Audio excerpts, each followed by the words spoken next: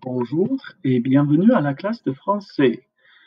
Hi parents and students of French 1, this video is for you. So, during this video we're going to quickly go over what to expect and uh, grading policies, what my classroom will look like, what it'll look like online, as a hybrid, in person, all of that. So, in order to do so, I'm going to start off with a quick uh, example, essentially. Alors, qui est Monsieur Kearns? Qui suis-je? Moi, je suis de Littleton, Colorado. J'enseigne le français depuis huit ans et j'aime faire de l'escalade, j'aime jouer au tennis, j'aime voyager en avion. Ça, c'est moi. Je suis allé à l'université de Gonzaga. Ça, c'est les grands étangs. Ça, c'est Golden. Voilà, c'est moi, Monsieur Keirns.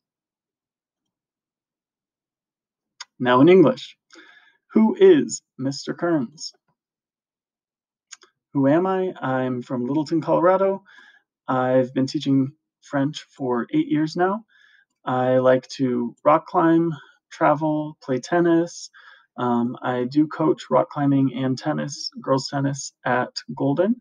Um, I have a master's in teaching and learning and a principal's license. And I enjoy teaching because I like trying to have a positive impact on young people's lives, as well as just imparting a little bit of the French culture and French language that I'm passionate about. This is our general block schedule. You'll see that in other classes as well.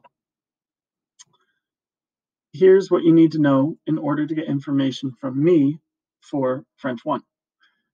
Right off the bat, we need to sign up for Google Classroom. I will try to add everyone I can, but here are the codes.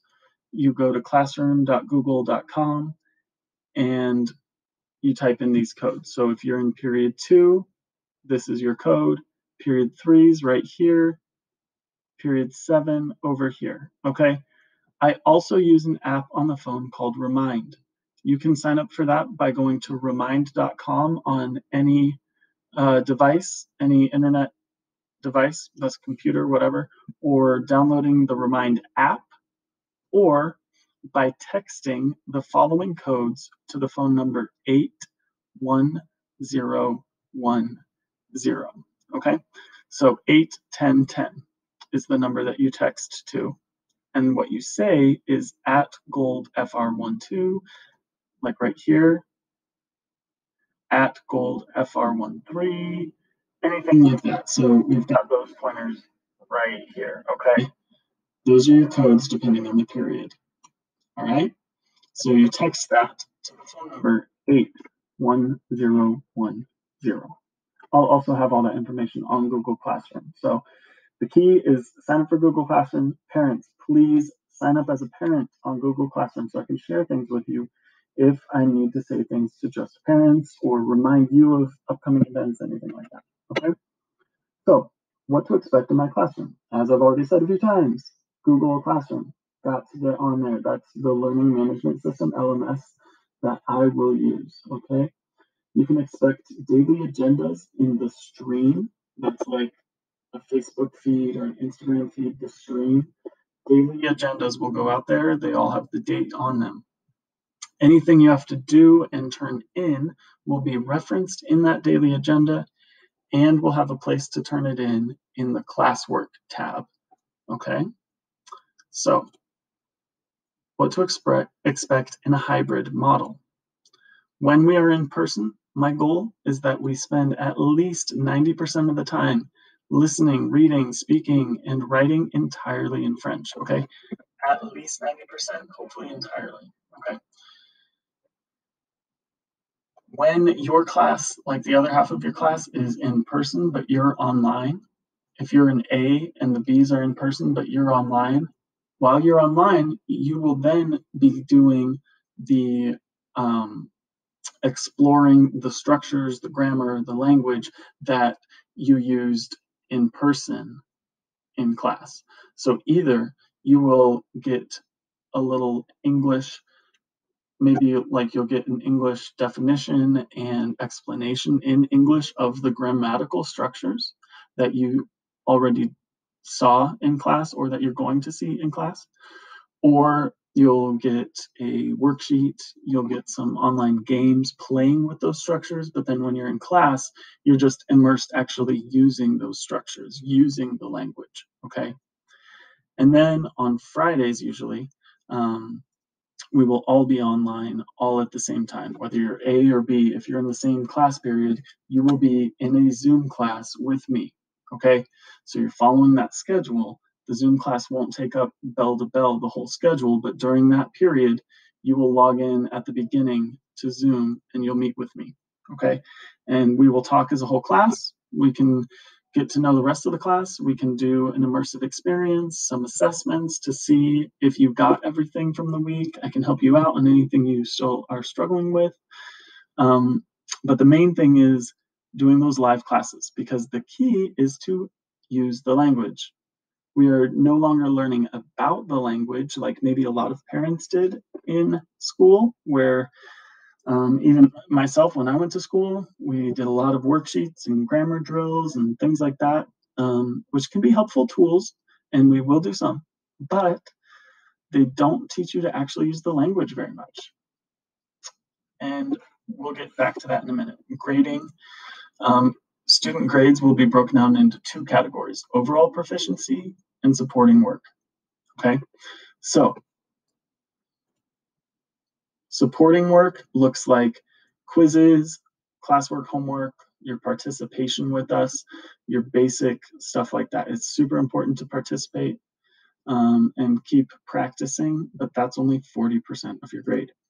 60%, that says interpretive, get myself out of the way.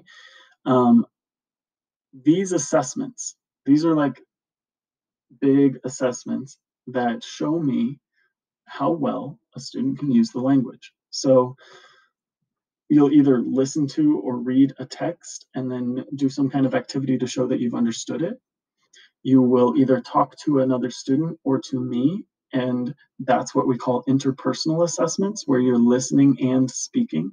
You have to understand and then respond and ask your own questions. Or presentational assessments, that's where you're presenting something either verbally or in like an essay format. Okay, so your ability to actually use the language.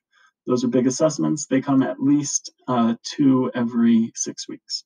Okay, and then the final exam is being hidden down there. The final exam is also 15%. Okay, that's what makes up 60%, which shows me how well you can use the language. So if I keep saying that classes are a little different, what's a proficiency-based classroom? I'm not going to play this video right now because that might take too long. But this video is the first link in Google Classroom. So all you have to do is sign up for Google Classroom, and then you can watch this video, which kind of explains um, how my class might be different from a traditional language learning class. All right? So if we're in this weird situation where Mr. Keirns expects me, even in French 1, to be able to understand and to speak entirely in French when we're in the class, how can how can I succeed if it's not just like making sure I fill out a worksheet and turn it in? Well, got to be bold. You have to speak up. You have to be compassionate, be open, and try hard. What I mean by that is you got to take risks. You got to just put yourself out there, and that's very difficult but you will be rewarded. I promise you. That is the key.